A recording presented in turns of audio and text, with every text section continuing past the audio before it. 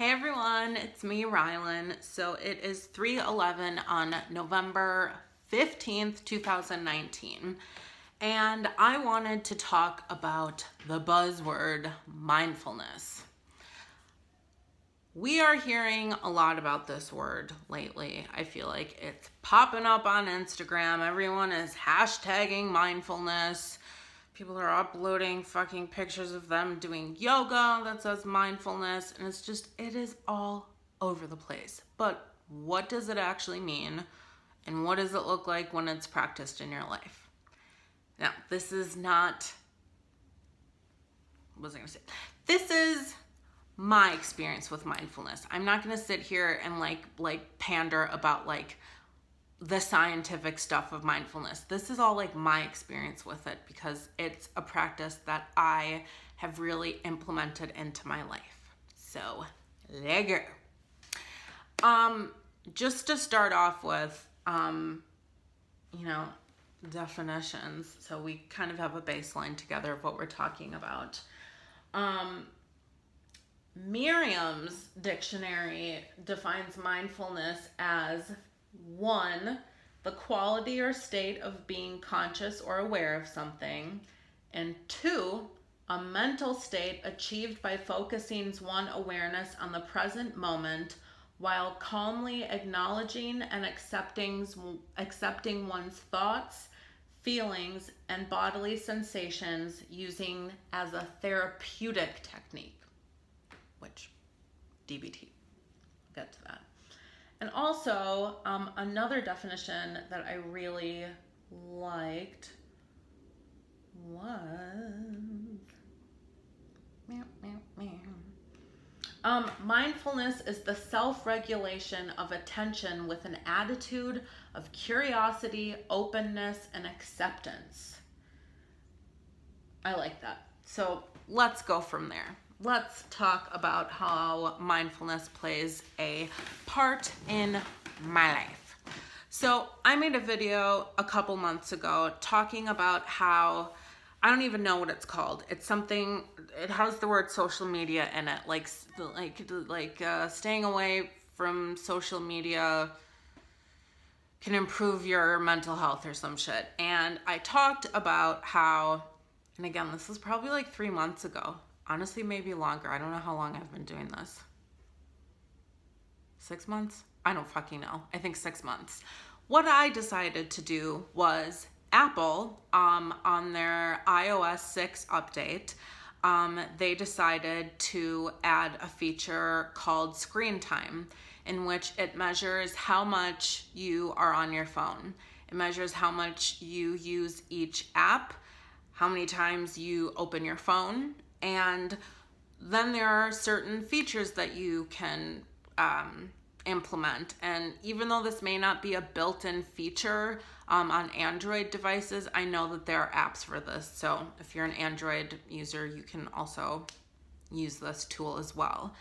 But basically, um, one of the most important things I found was that you can set a daily limit on your phone of how long you want to be on your phone.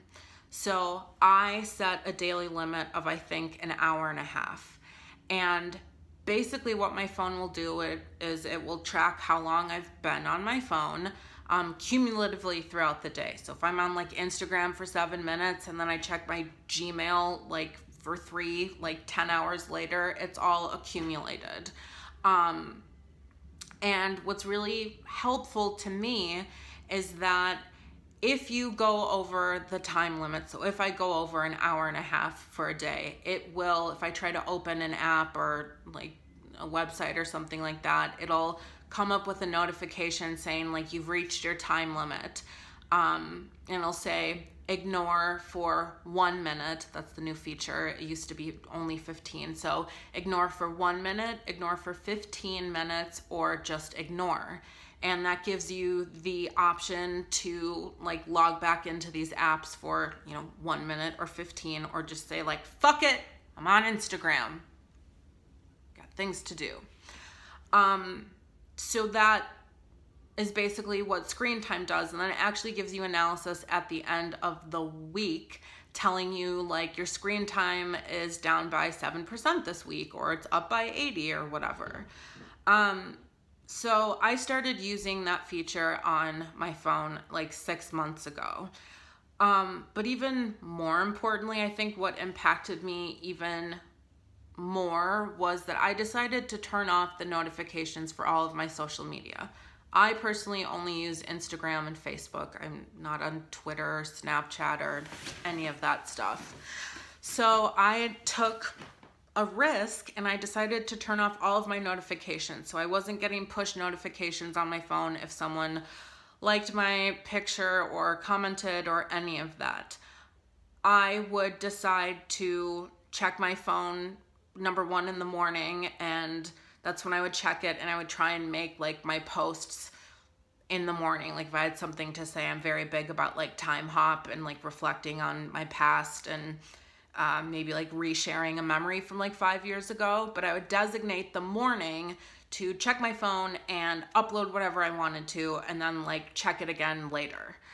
Um, and this was extremely monumental and life changing because I found that I was no longer scrolling on my phone and wasting my life.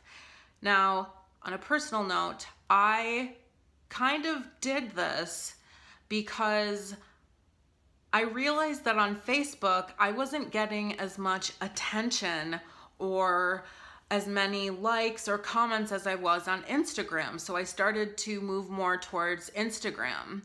And all of this is in that pursuit of self validation and us feeling worthy and wanted and important. You upload that picture of you in your bikini and you only get one like or two when you wanted 15 or 50 or 5,000. And in my case, if I upload a picture, it'll maybe get like one, two, three, four, five likes. And if I've uploaded something specifically, like that's very vulnerable, maybe talking about my mental health or something like that, and I don't believe it got the attention it deserved, that affected my mental health and made me feel like shit about myself. It made me feel like I was insignificant and I had shared a part of myself with the world, or even if it was just a good selfie that I felt confident about and I wasn't getting the attention that I wanted, it was affecting me mentally and I felt like crap about myself. And of course, that's the whole concept of like, you know, FOMO, fear of missing out. You see all these people's going to parties and the celebrities and their big lavish lives and you look at your life and you go like, wow, I am a piece of shit and I don't matter. So that was my first step into mindfulness of being like, I am turning off the notifications of my phone because I'm going to be in charge when I want to um, engage in like technology and get into the world of social media. That was a really big thing for me because I found that I was more relaxed that I wasn't like worrying if I did just upload a picture. I wasn't worrying if I did just get five likes in a row because I wouldn't check it until later. It, it like eliminated that stress. So that was my first step. Secondly, the biggest thing that I'm doing now, um, mindfully in my life as like a whole, as a complete package, is I have something called Mindful Sundays with my girlfriend. We live together. So what we started doing um, concretely, this only started three month, three weeks ago that we decided we're doing this every Sunday, but we had tried it maybe three times before. And back then we called it going off the grid. And that would just mean that we would not have our phones and that we would literally cover up the clocks in our house. So we had no, um, you know, just no connection or engagement with the outside world and social media and technology and all of that bullshit as a way to stay mindful and present in the moment. And I'm gonna get to what that actually means and what that looks like. Um, but now we do it every Sunday.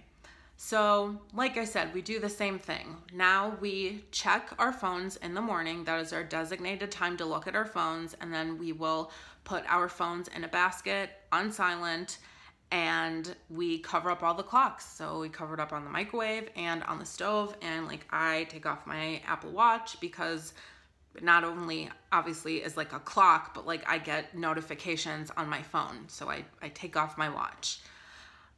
So we spend the day, we are allowed to watch television. That's like our one thing that we allow. And we just are there with each other. We're just there and present and living. It's honestly amazing how how much you don't realize how much you realize your phone. I know that was a lot of like words that honestly made no sense together, but just pretend I didn't say it. Um, what I noticed is how easy it is to simply be watching television and a commercial comes on and when that commercial comes on, if it's Hulu, it's a minute and 30 seconds. You just uh, instinctually grab your phone and start scrolling. And I think that is fucking ridiculous. The fact that we as a society are programmed to not be able to just like sit and chill for 90 seconds and you have to grab your phone and start scrolling on whatever it is Reddit, Facebook, Instagram, Twitter, whatever other stuff there is, that that's kind of the level that we are at as a society. And you might be watching this and be like, Rilen, I don't even use social media. Fuck Instagram. I'm not about that life. That's cool, but reality check, you're watching me right now on YouTube. So, just saying. Just saying.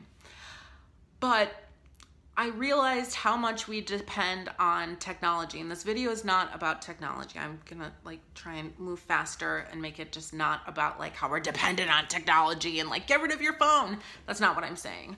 It's just I realized when we have mindful Sundays how um, important technology is in our lives as simply as um, if you're watching a TV show, for me, like I was like checking IMDb and realizing that like I can't just check my phone to look up who that actor is.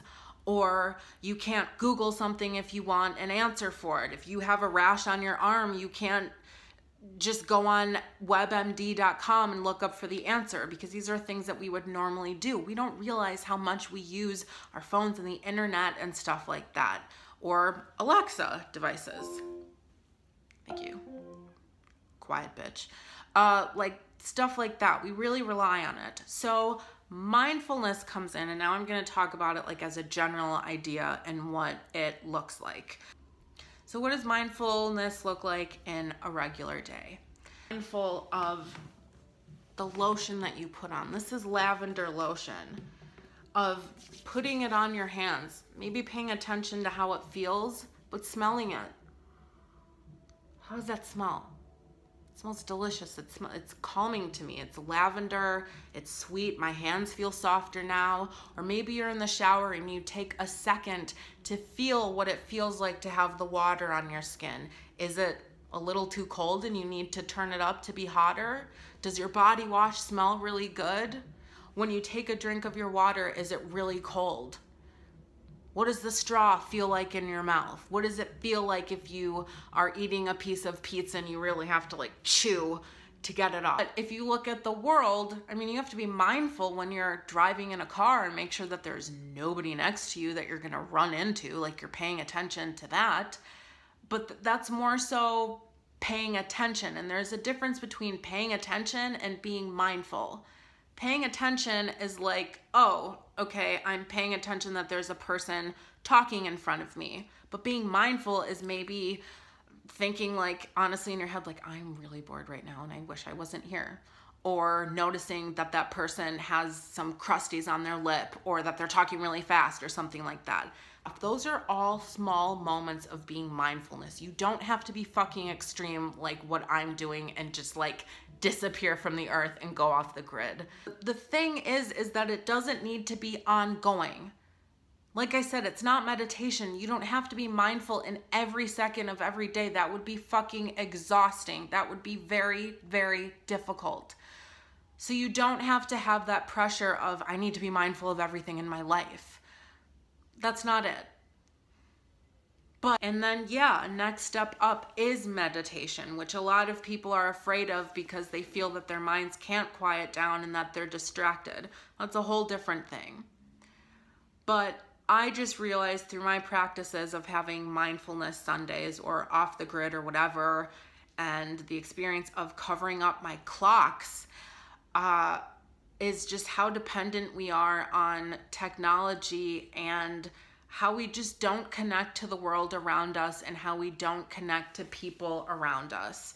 Um, specifically, ooh, specifically when I have these days uh, with my girlfriend on Sunday and we have mindful dinners, we do not allow the television to be on or any music. If we do want music to be on, it's calming music like Beethoven or Mozart because we actually like classical music. But I found that whenever we have these dinners, we are so much more attuned to each other. And I've learned more about her in these mindful dinners that we've had, like the three of them that we have had in like the over year that I've known her. Stories come out. You notice things about them because you're actually paying attention. You're there present in the moment with another human being. And that is something that we obviously don't do because, you know, technology, we're on our screens, all of that stuff. And it's just really beautiful to pay attention to another person and be there with them. So it's the little things in life that you can do and just say, oh, okay, I'm noticing that. I'm on the subway right now in New York and there's a baby crying and it's pissing me off. Fuck that baby. Little things, little tiny things that in the big picture, like I said, scientifically will change your life, will change your brain chemistry, and ultimately make you a happier person.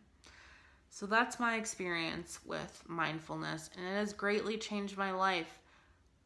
I don't have my notifications on my phone still of Facebook and Instagram because I don't care. That's what's up. And I just encourage you to find simple moments during the day where you can be mindful. Really taste that piece of chocolate that you're biting into. What does it taste like? What's the texture? Does it crumble? Does it melt? They're all beautiful things. And I feel like when you start to pay attention to the little things in life, you start to have more gratitude and you really start to just feel more grateful for the people around you.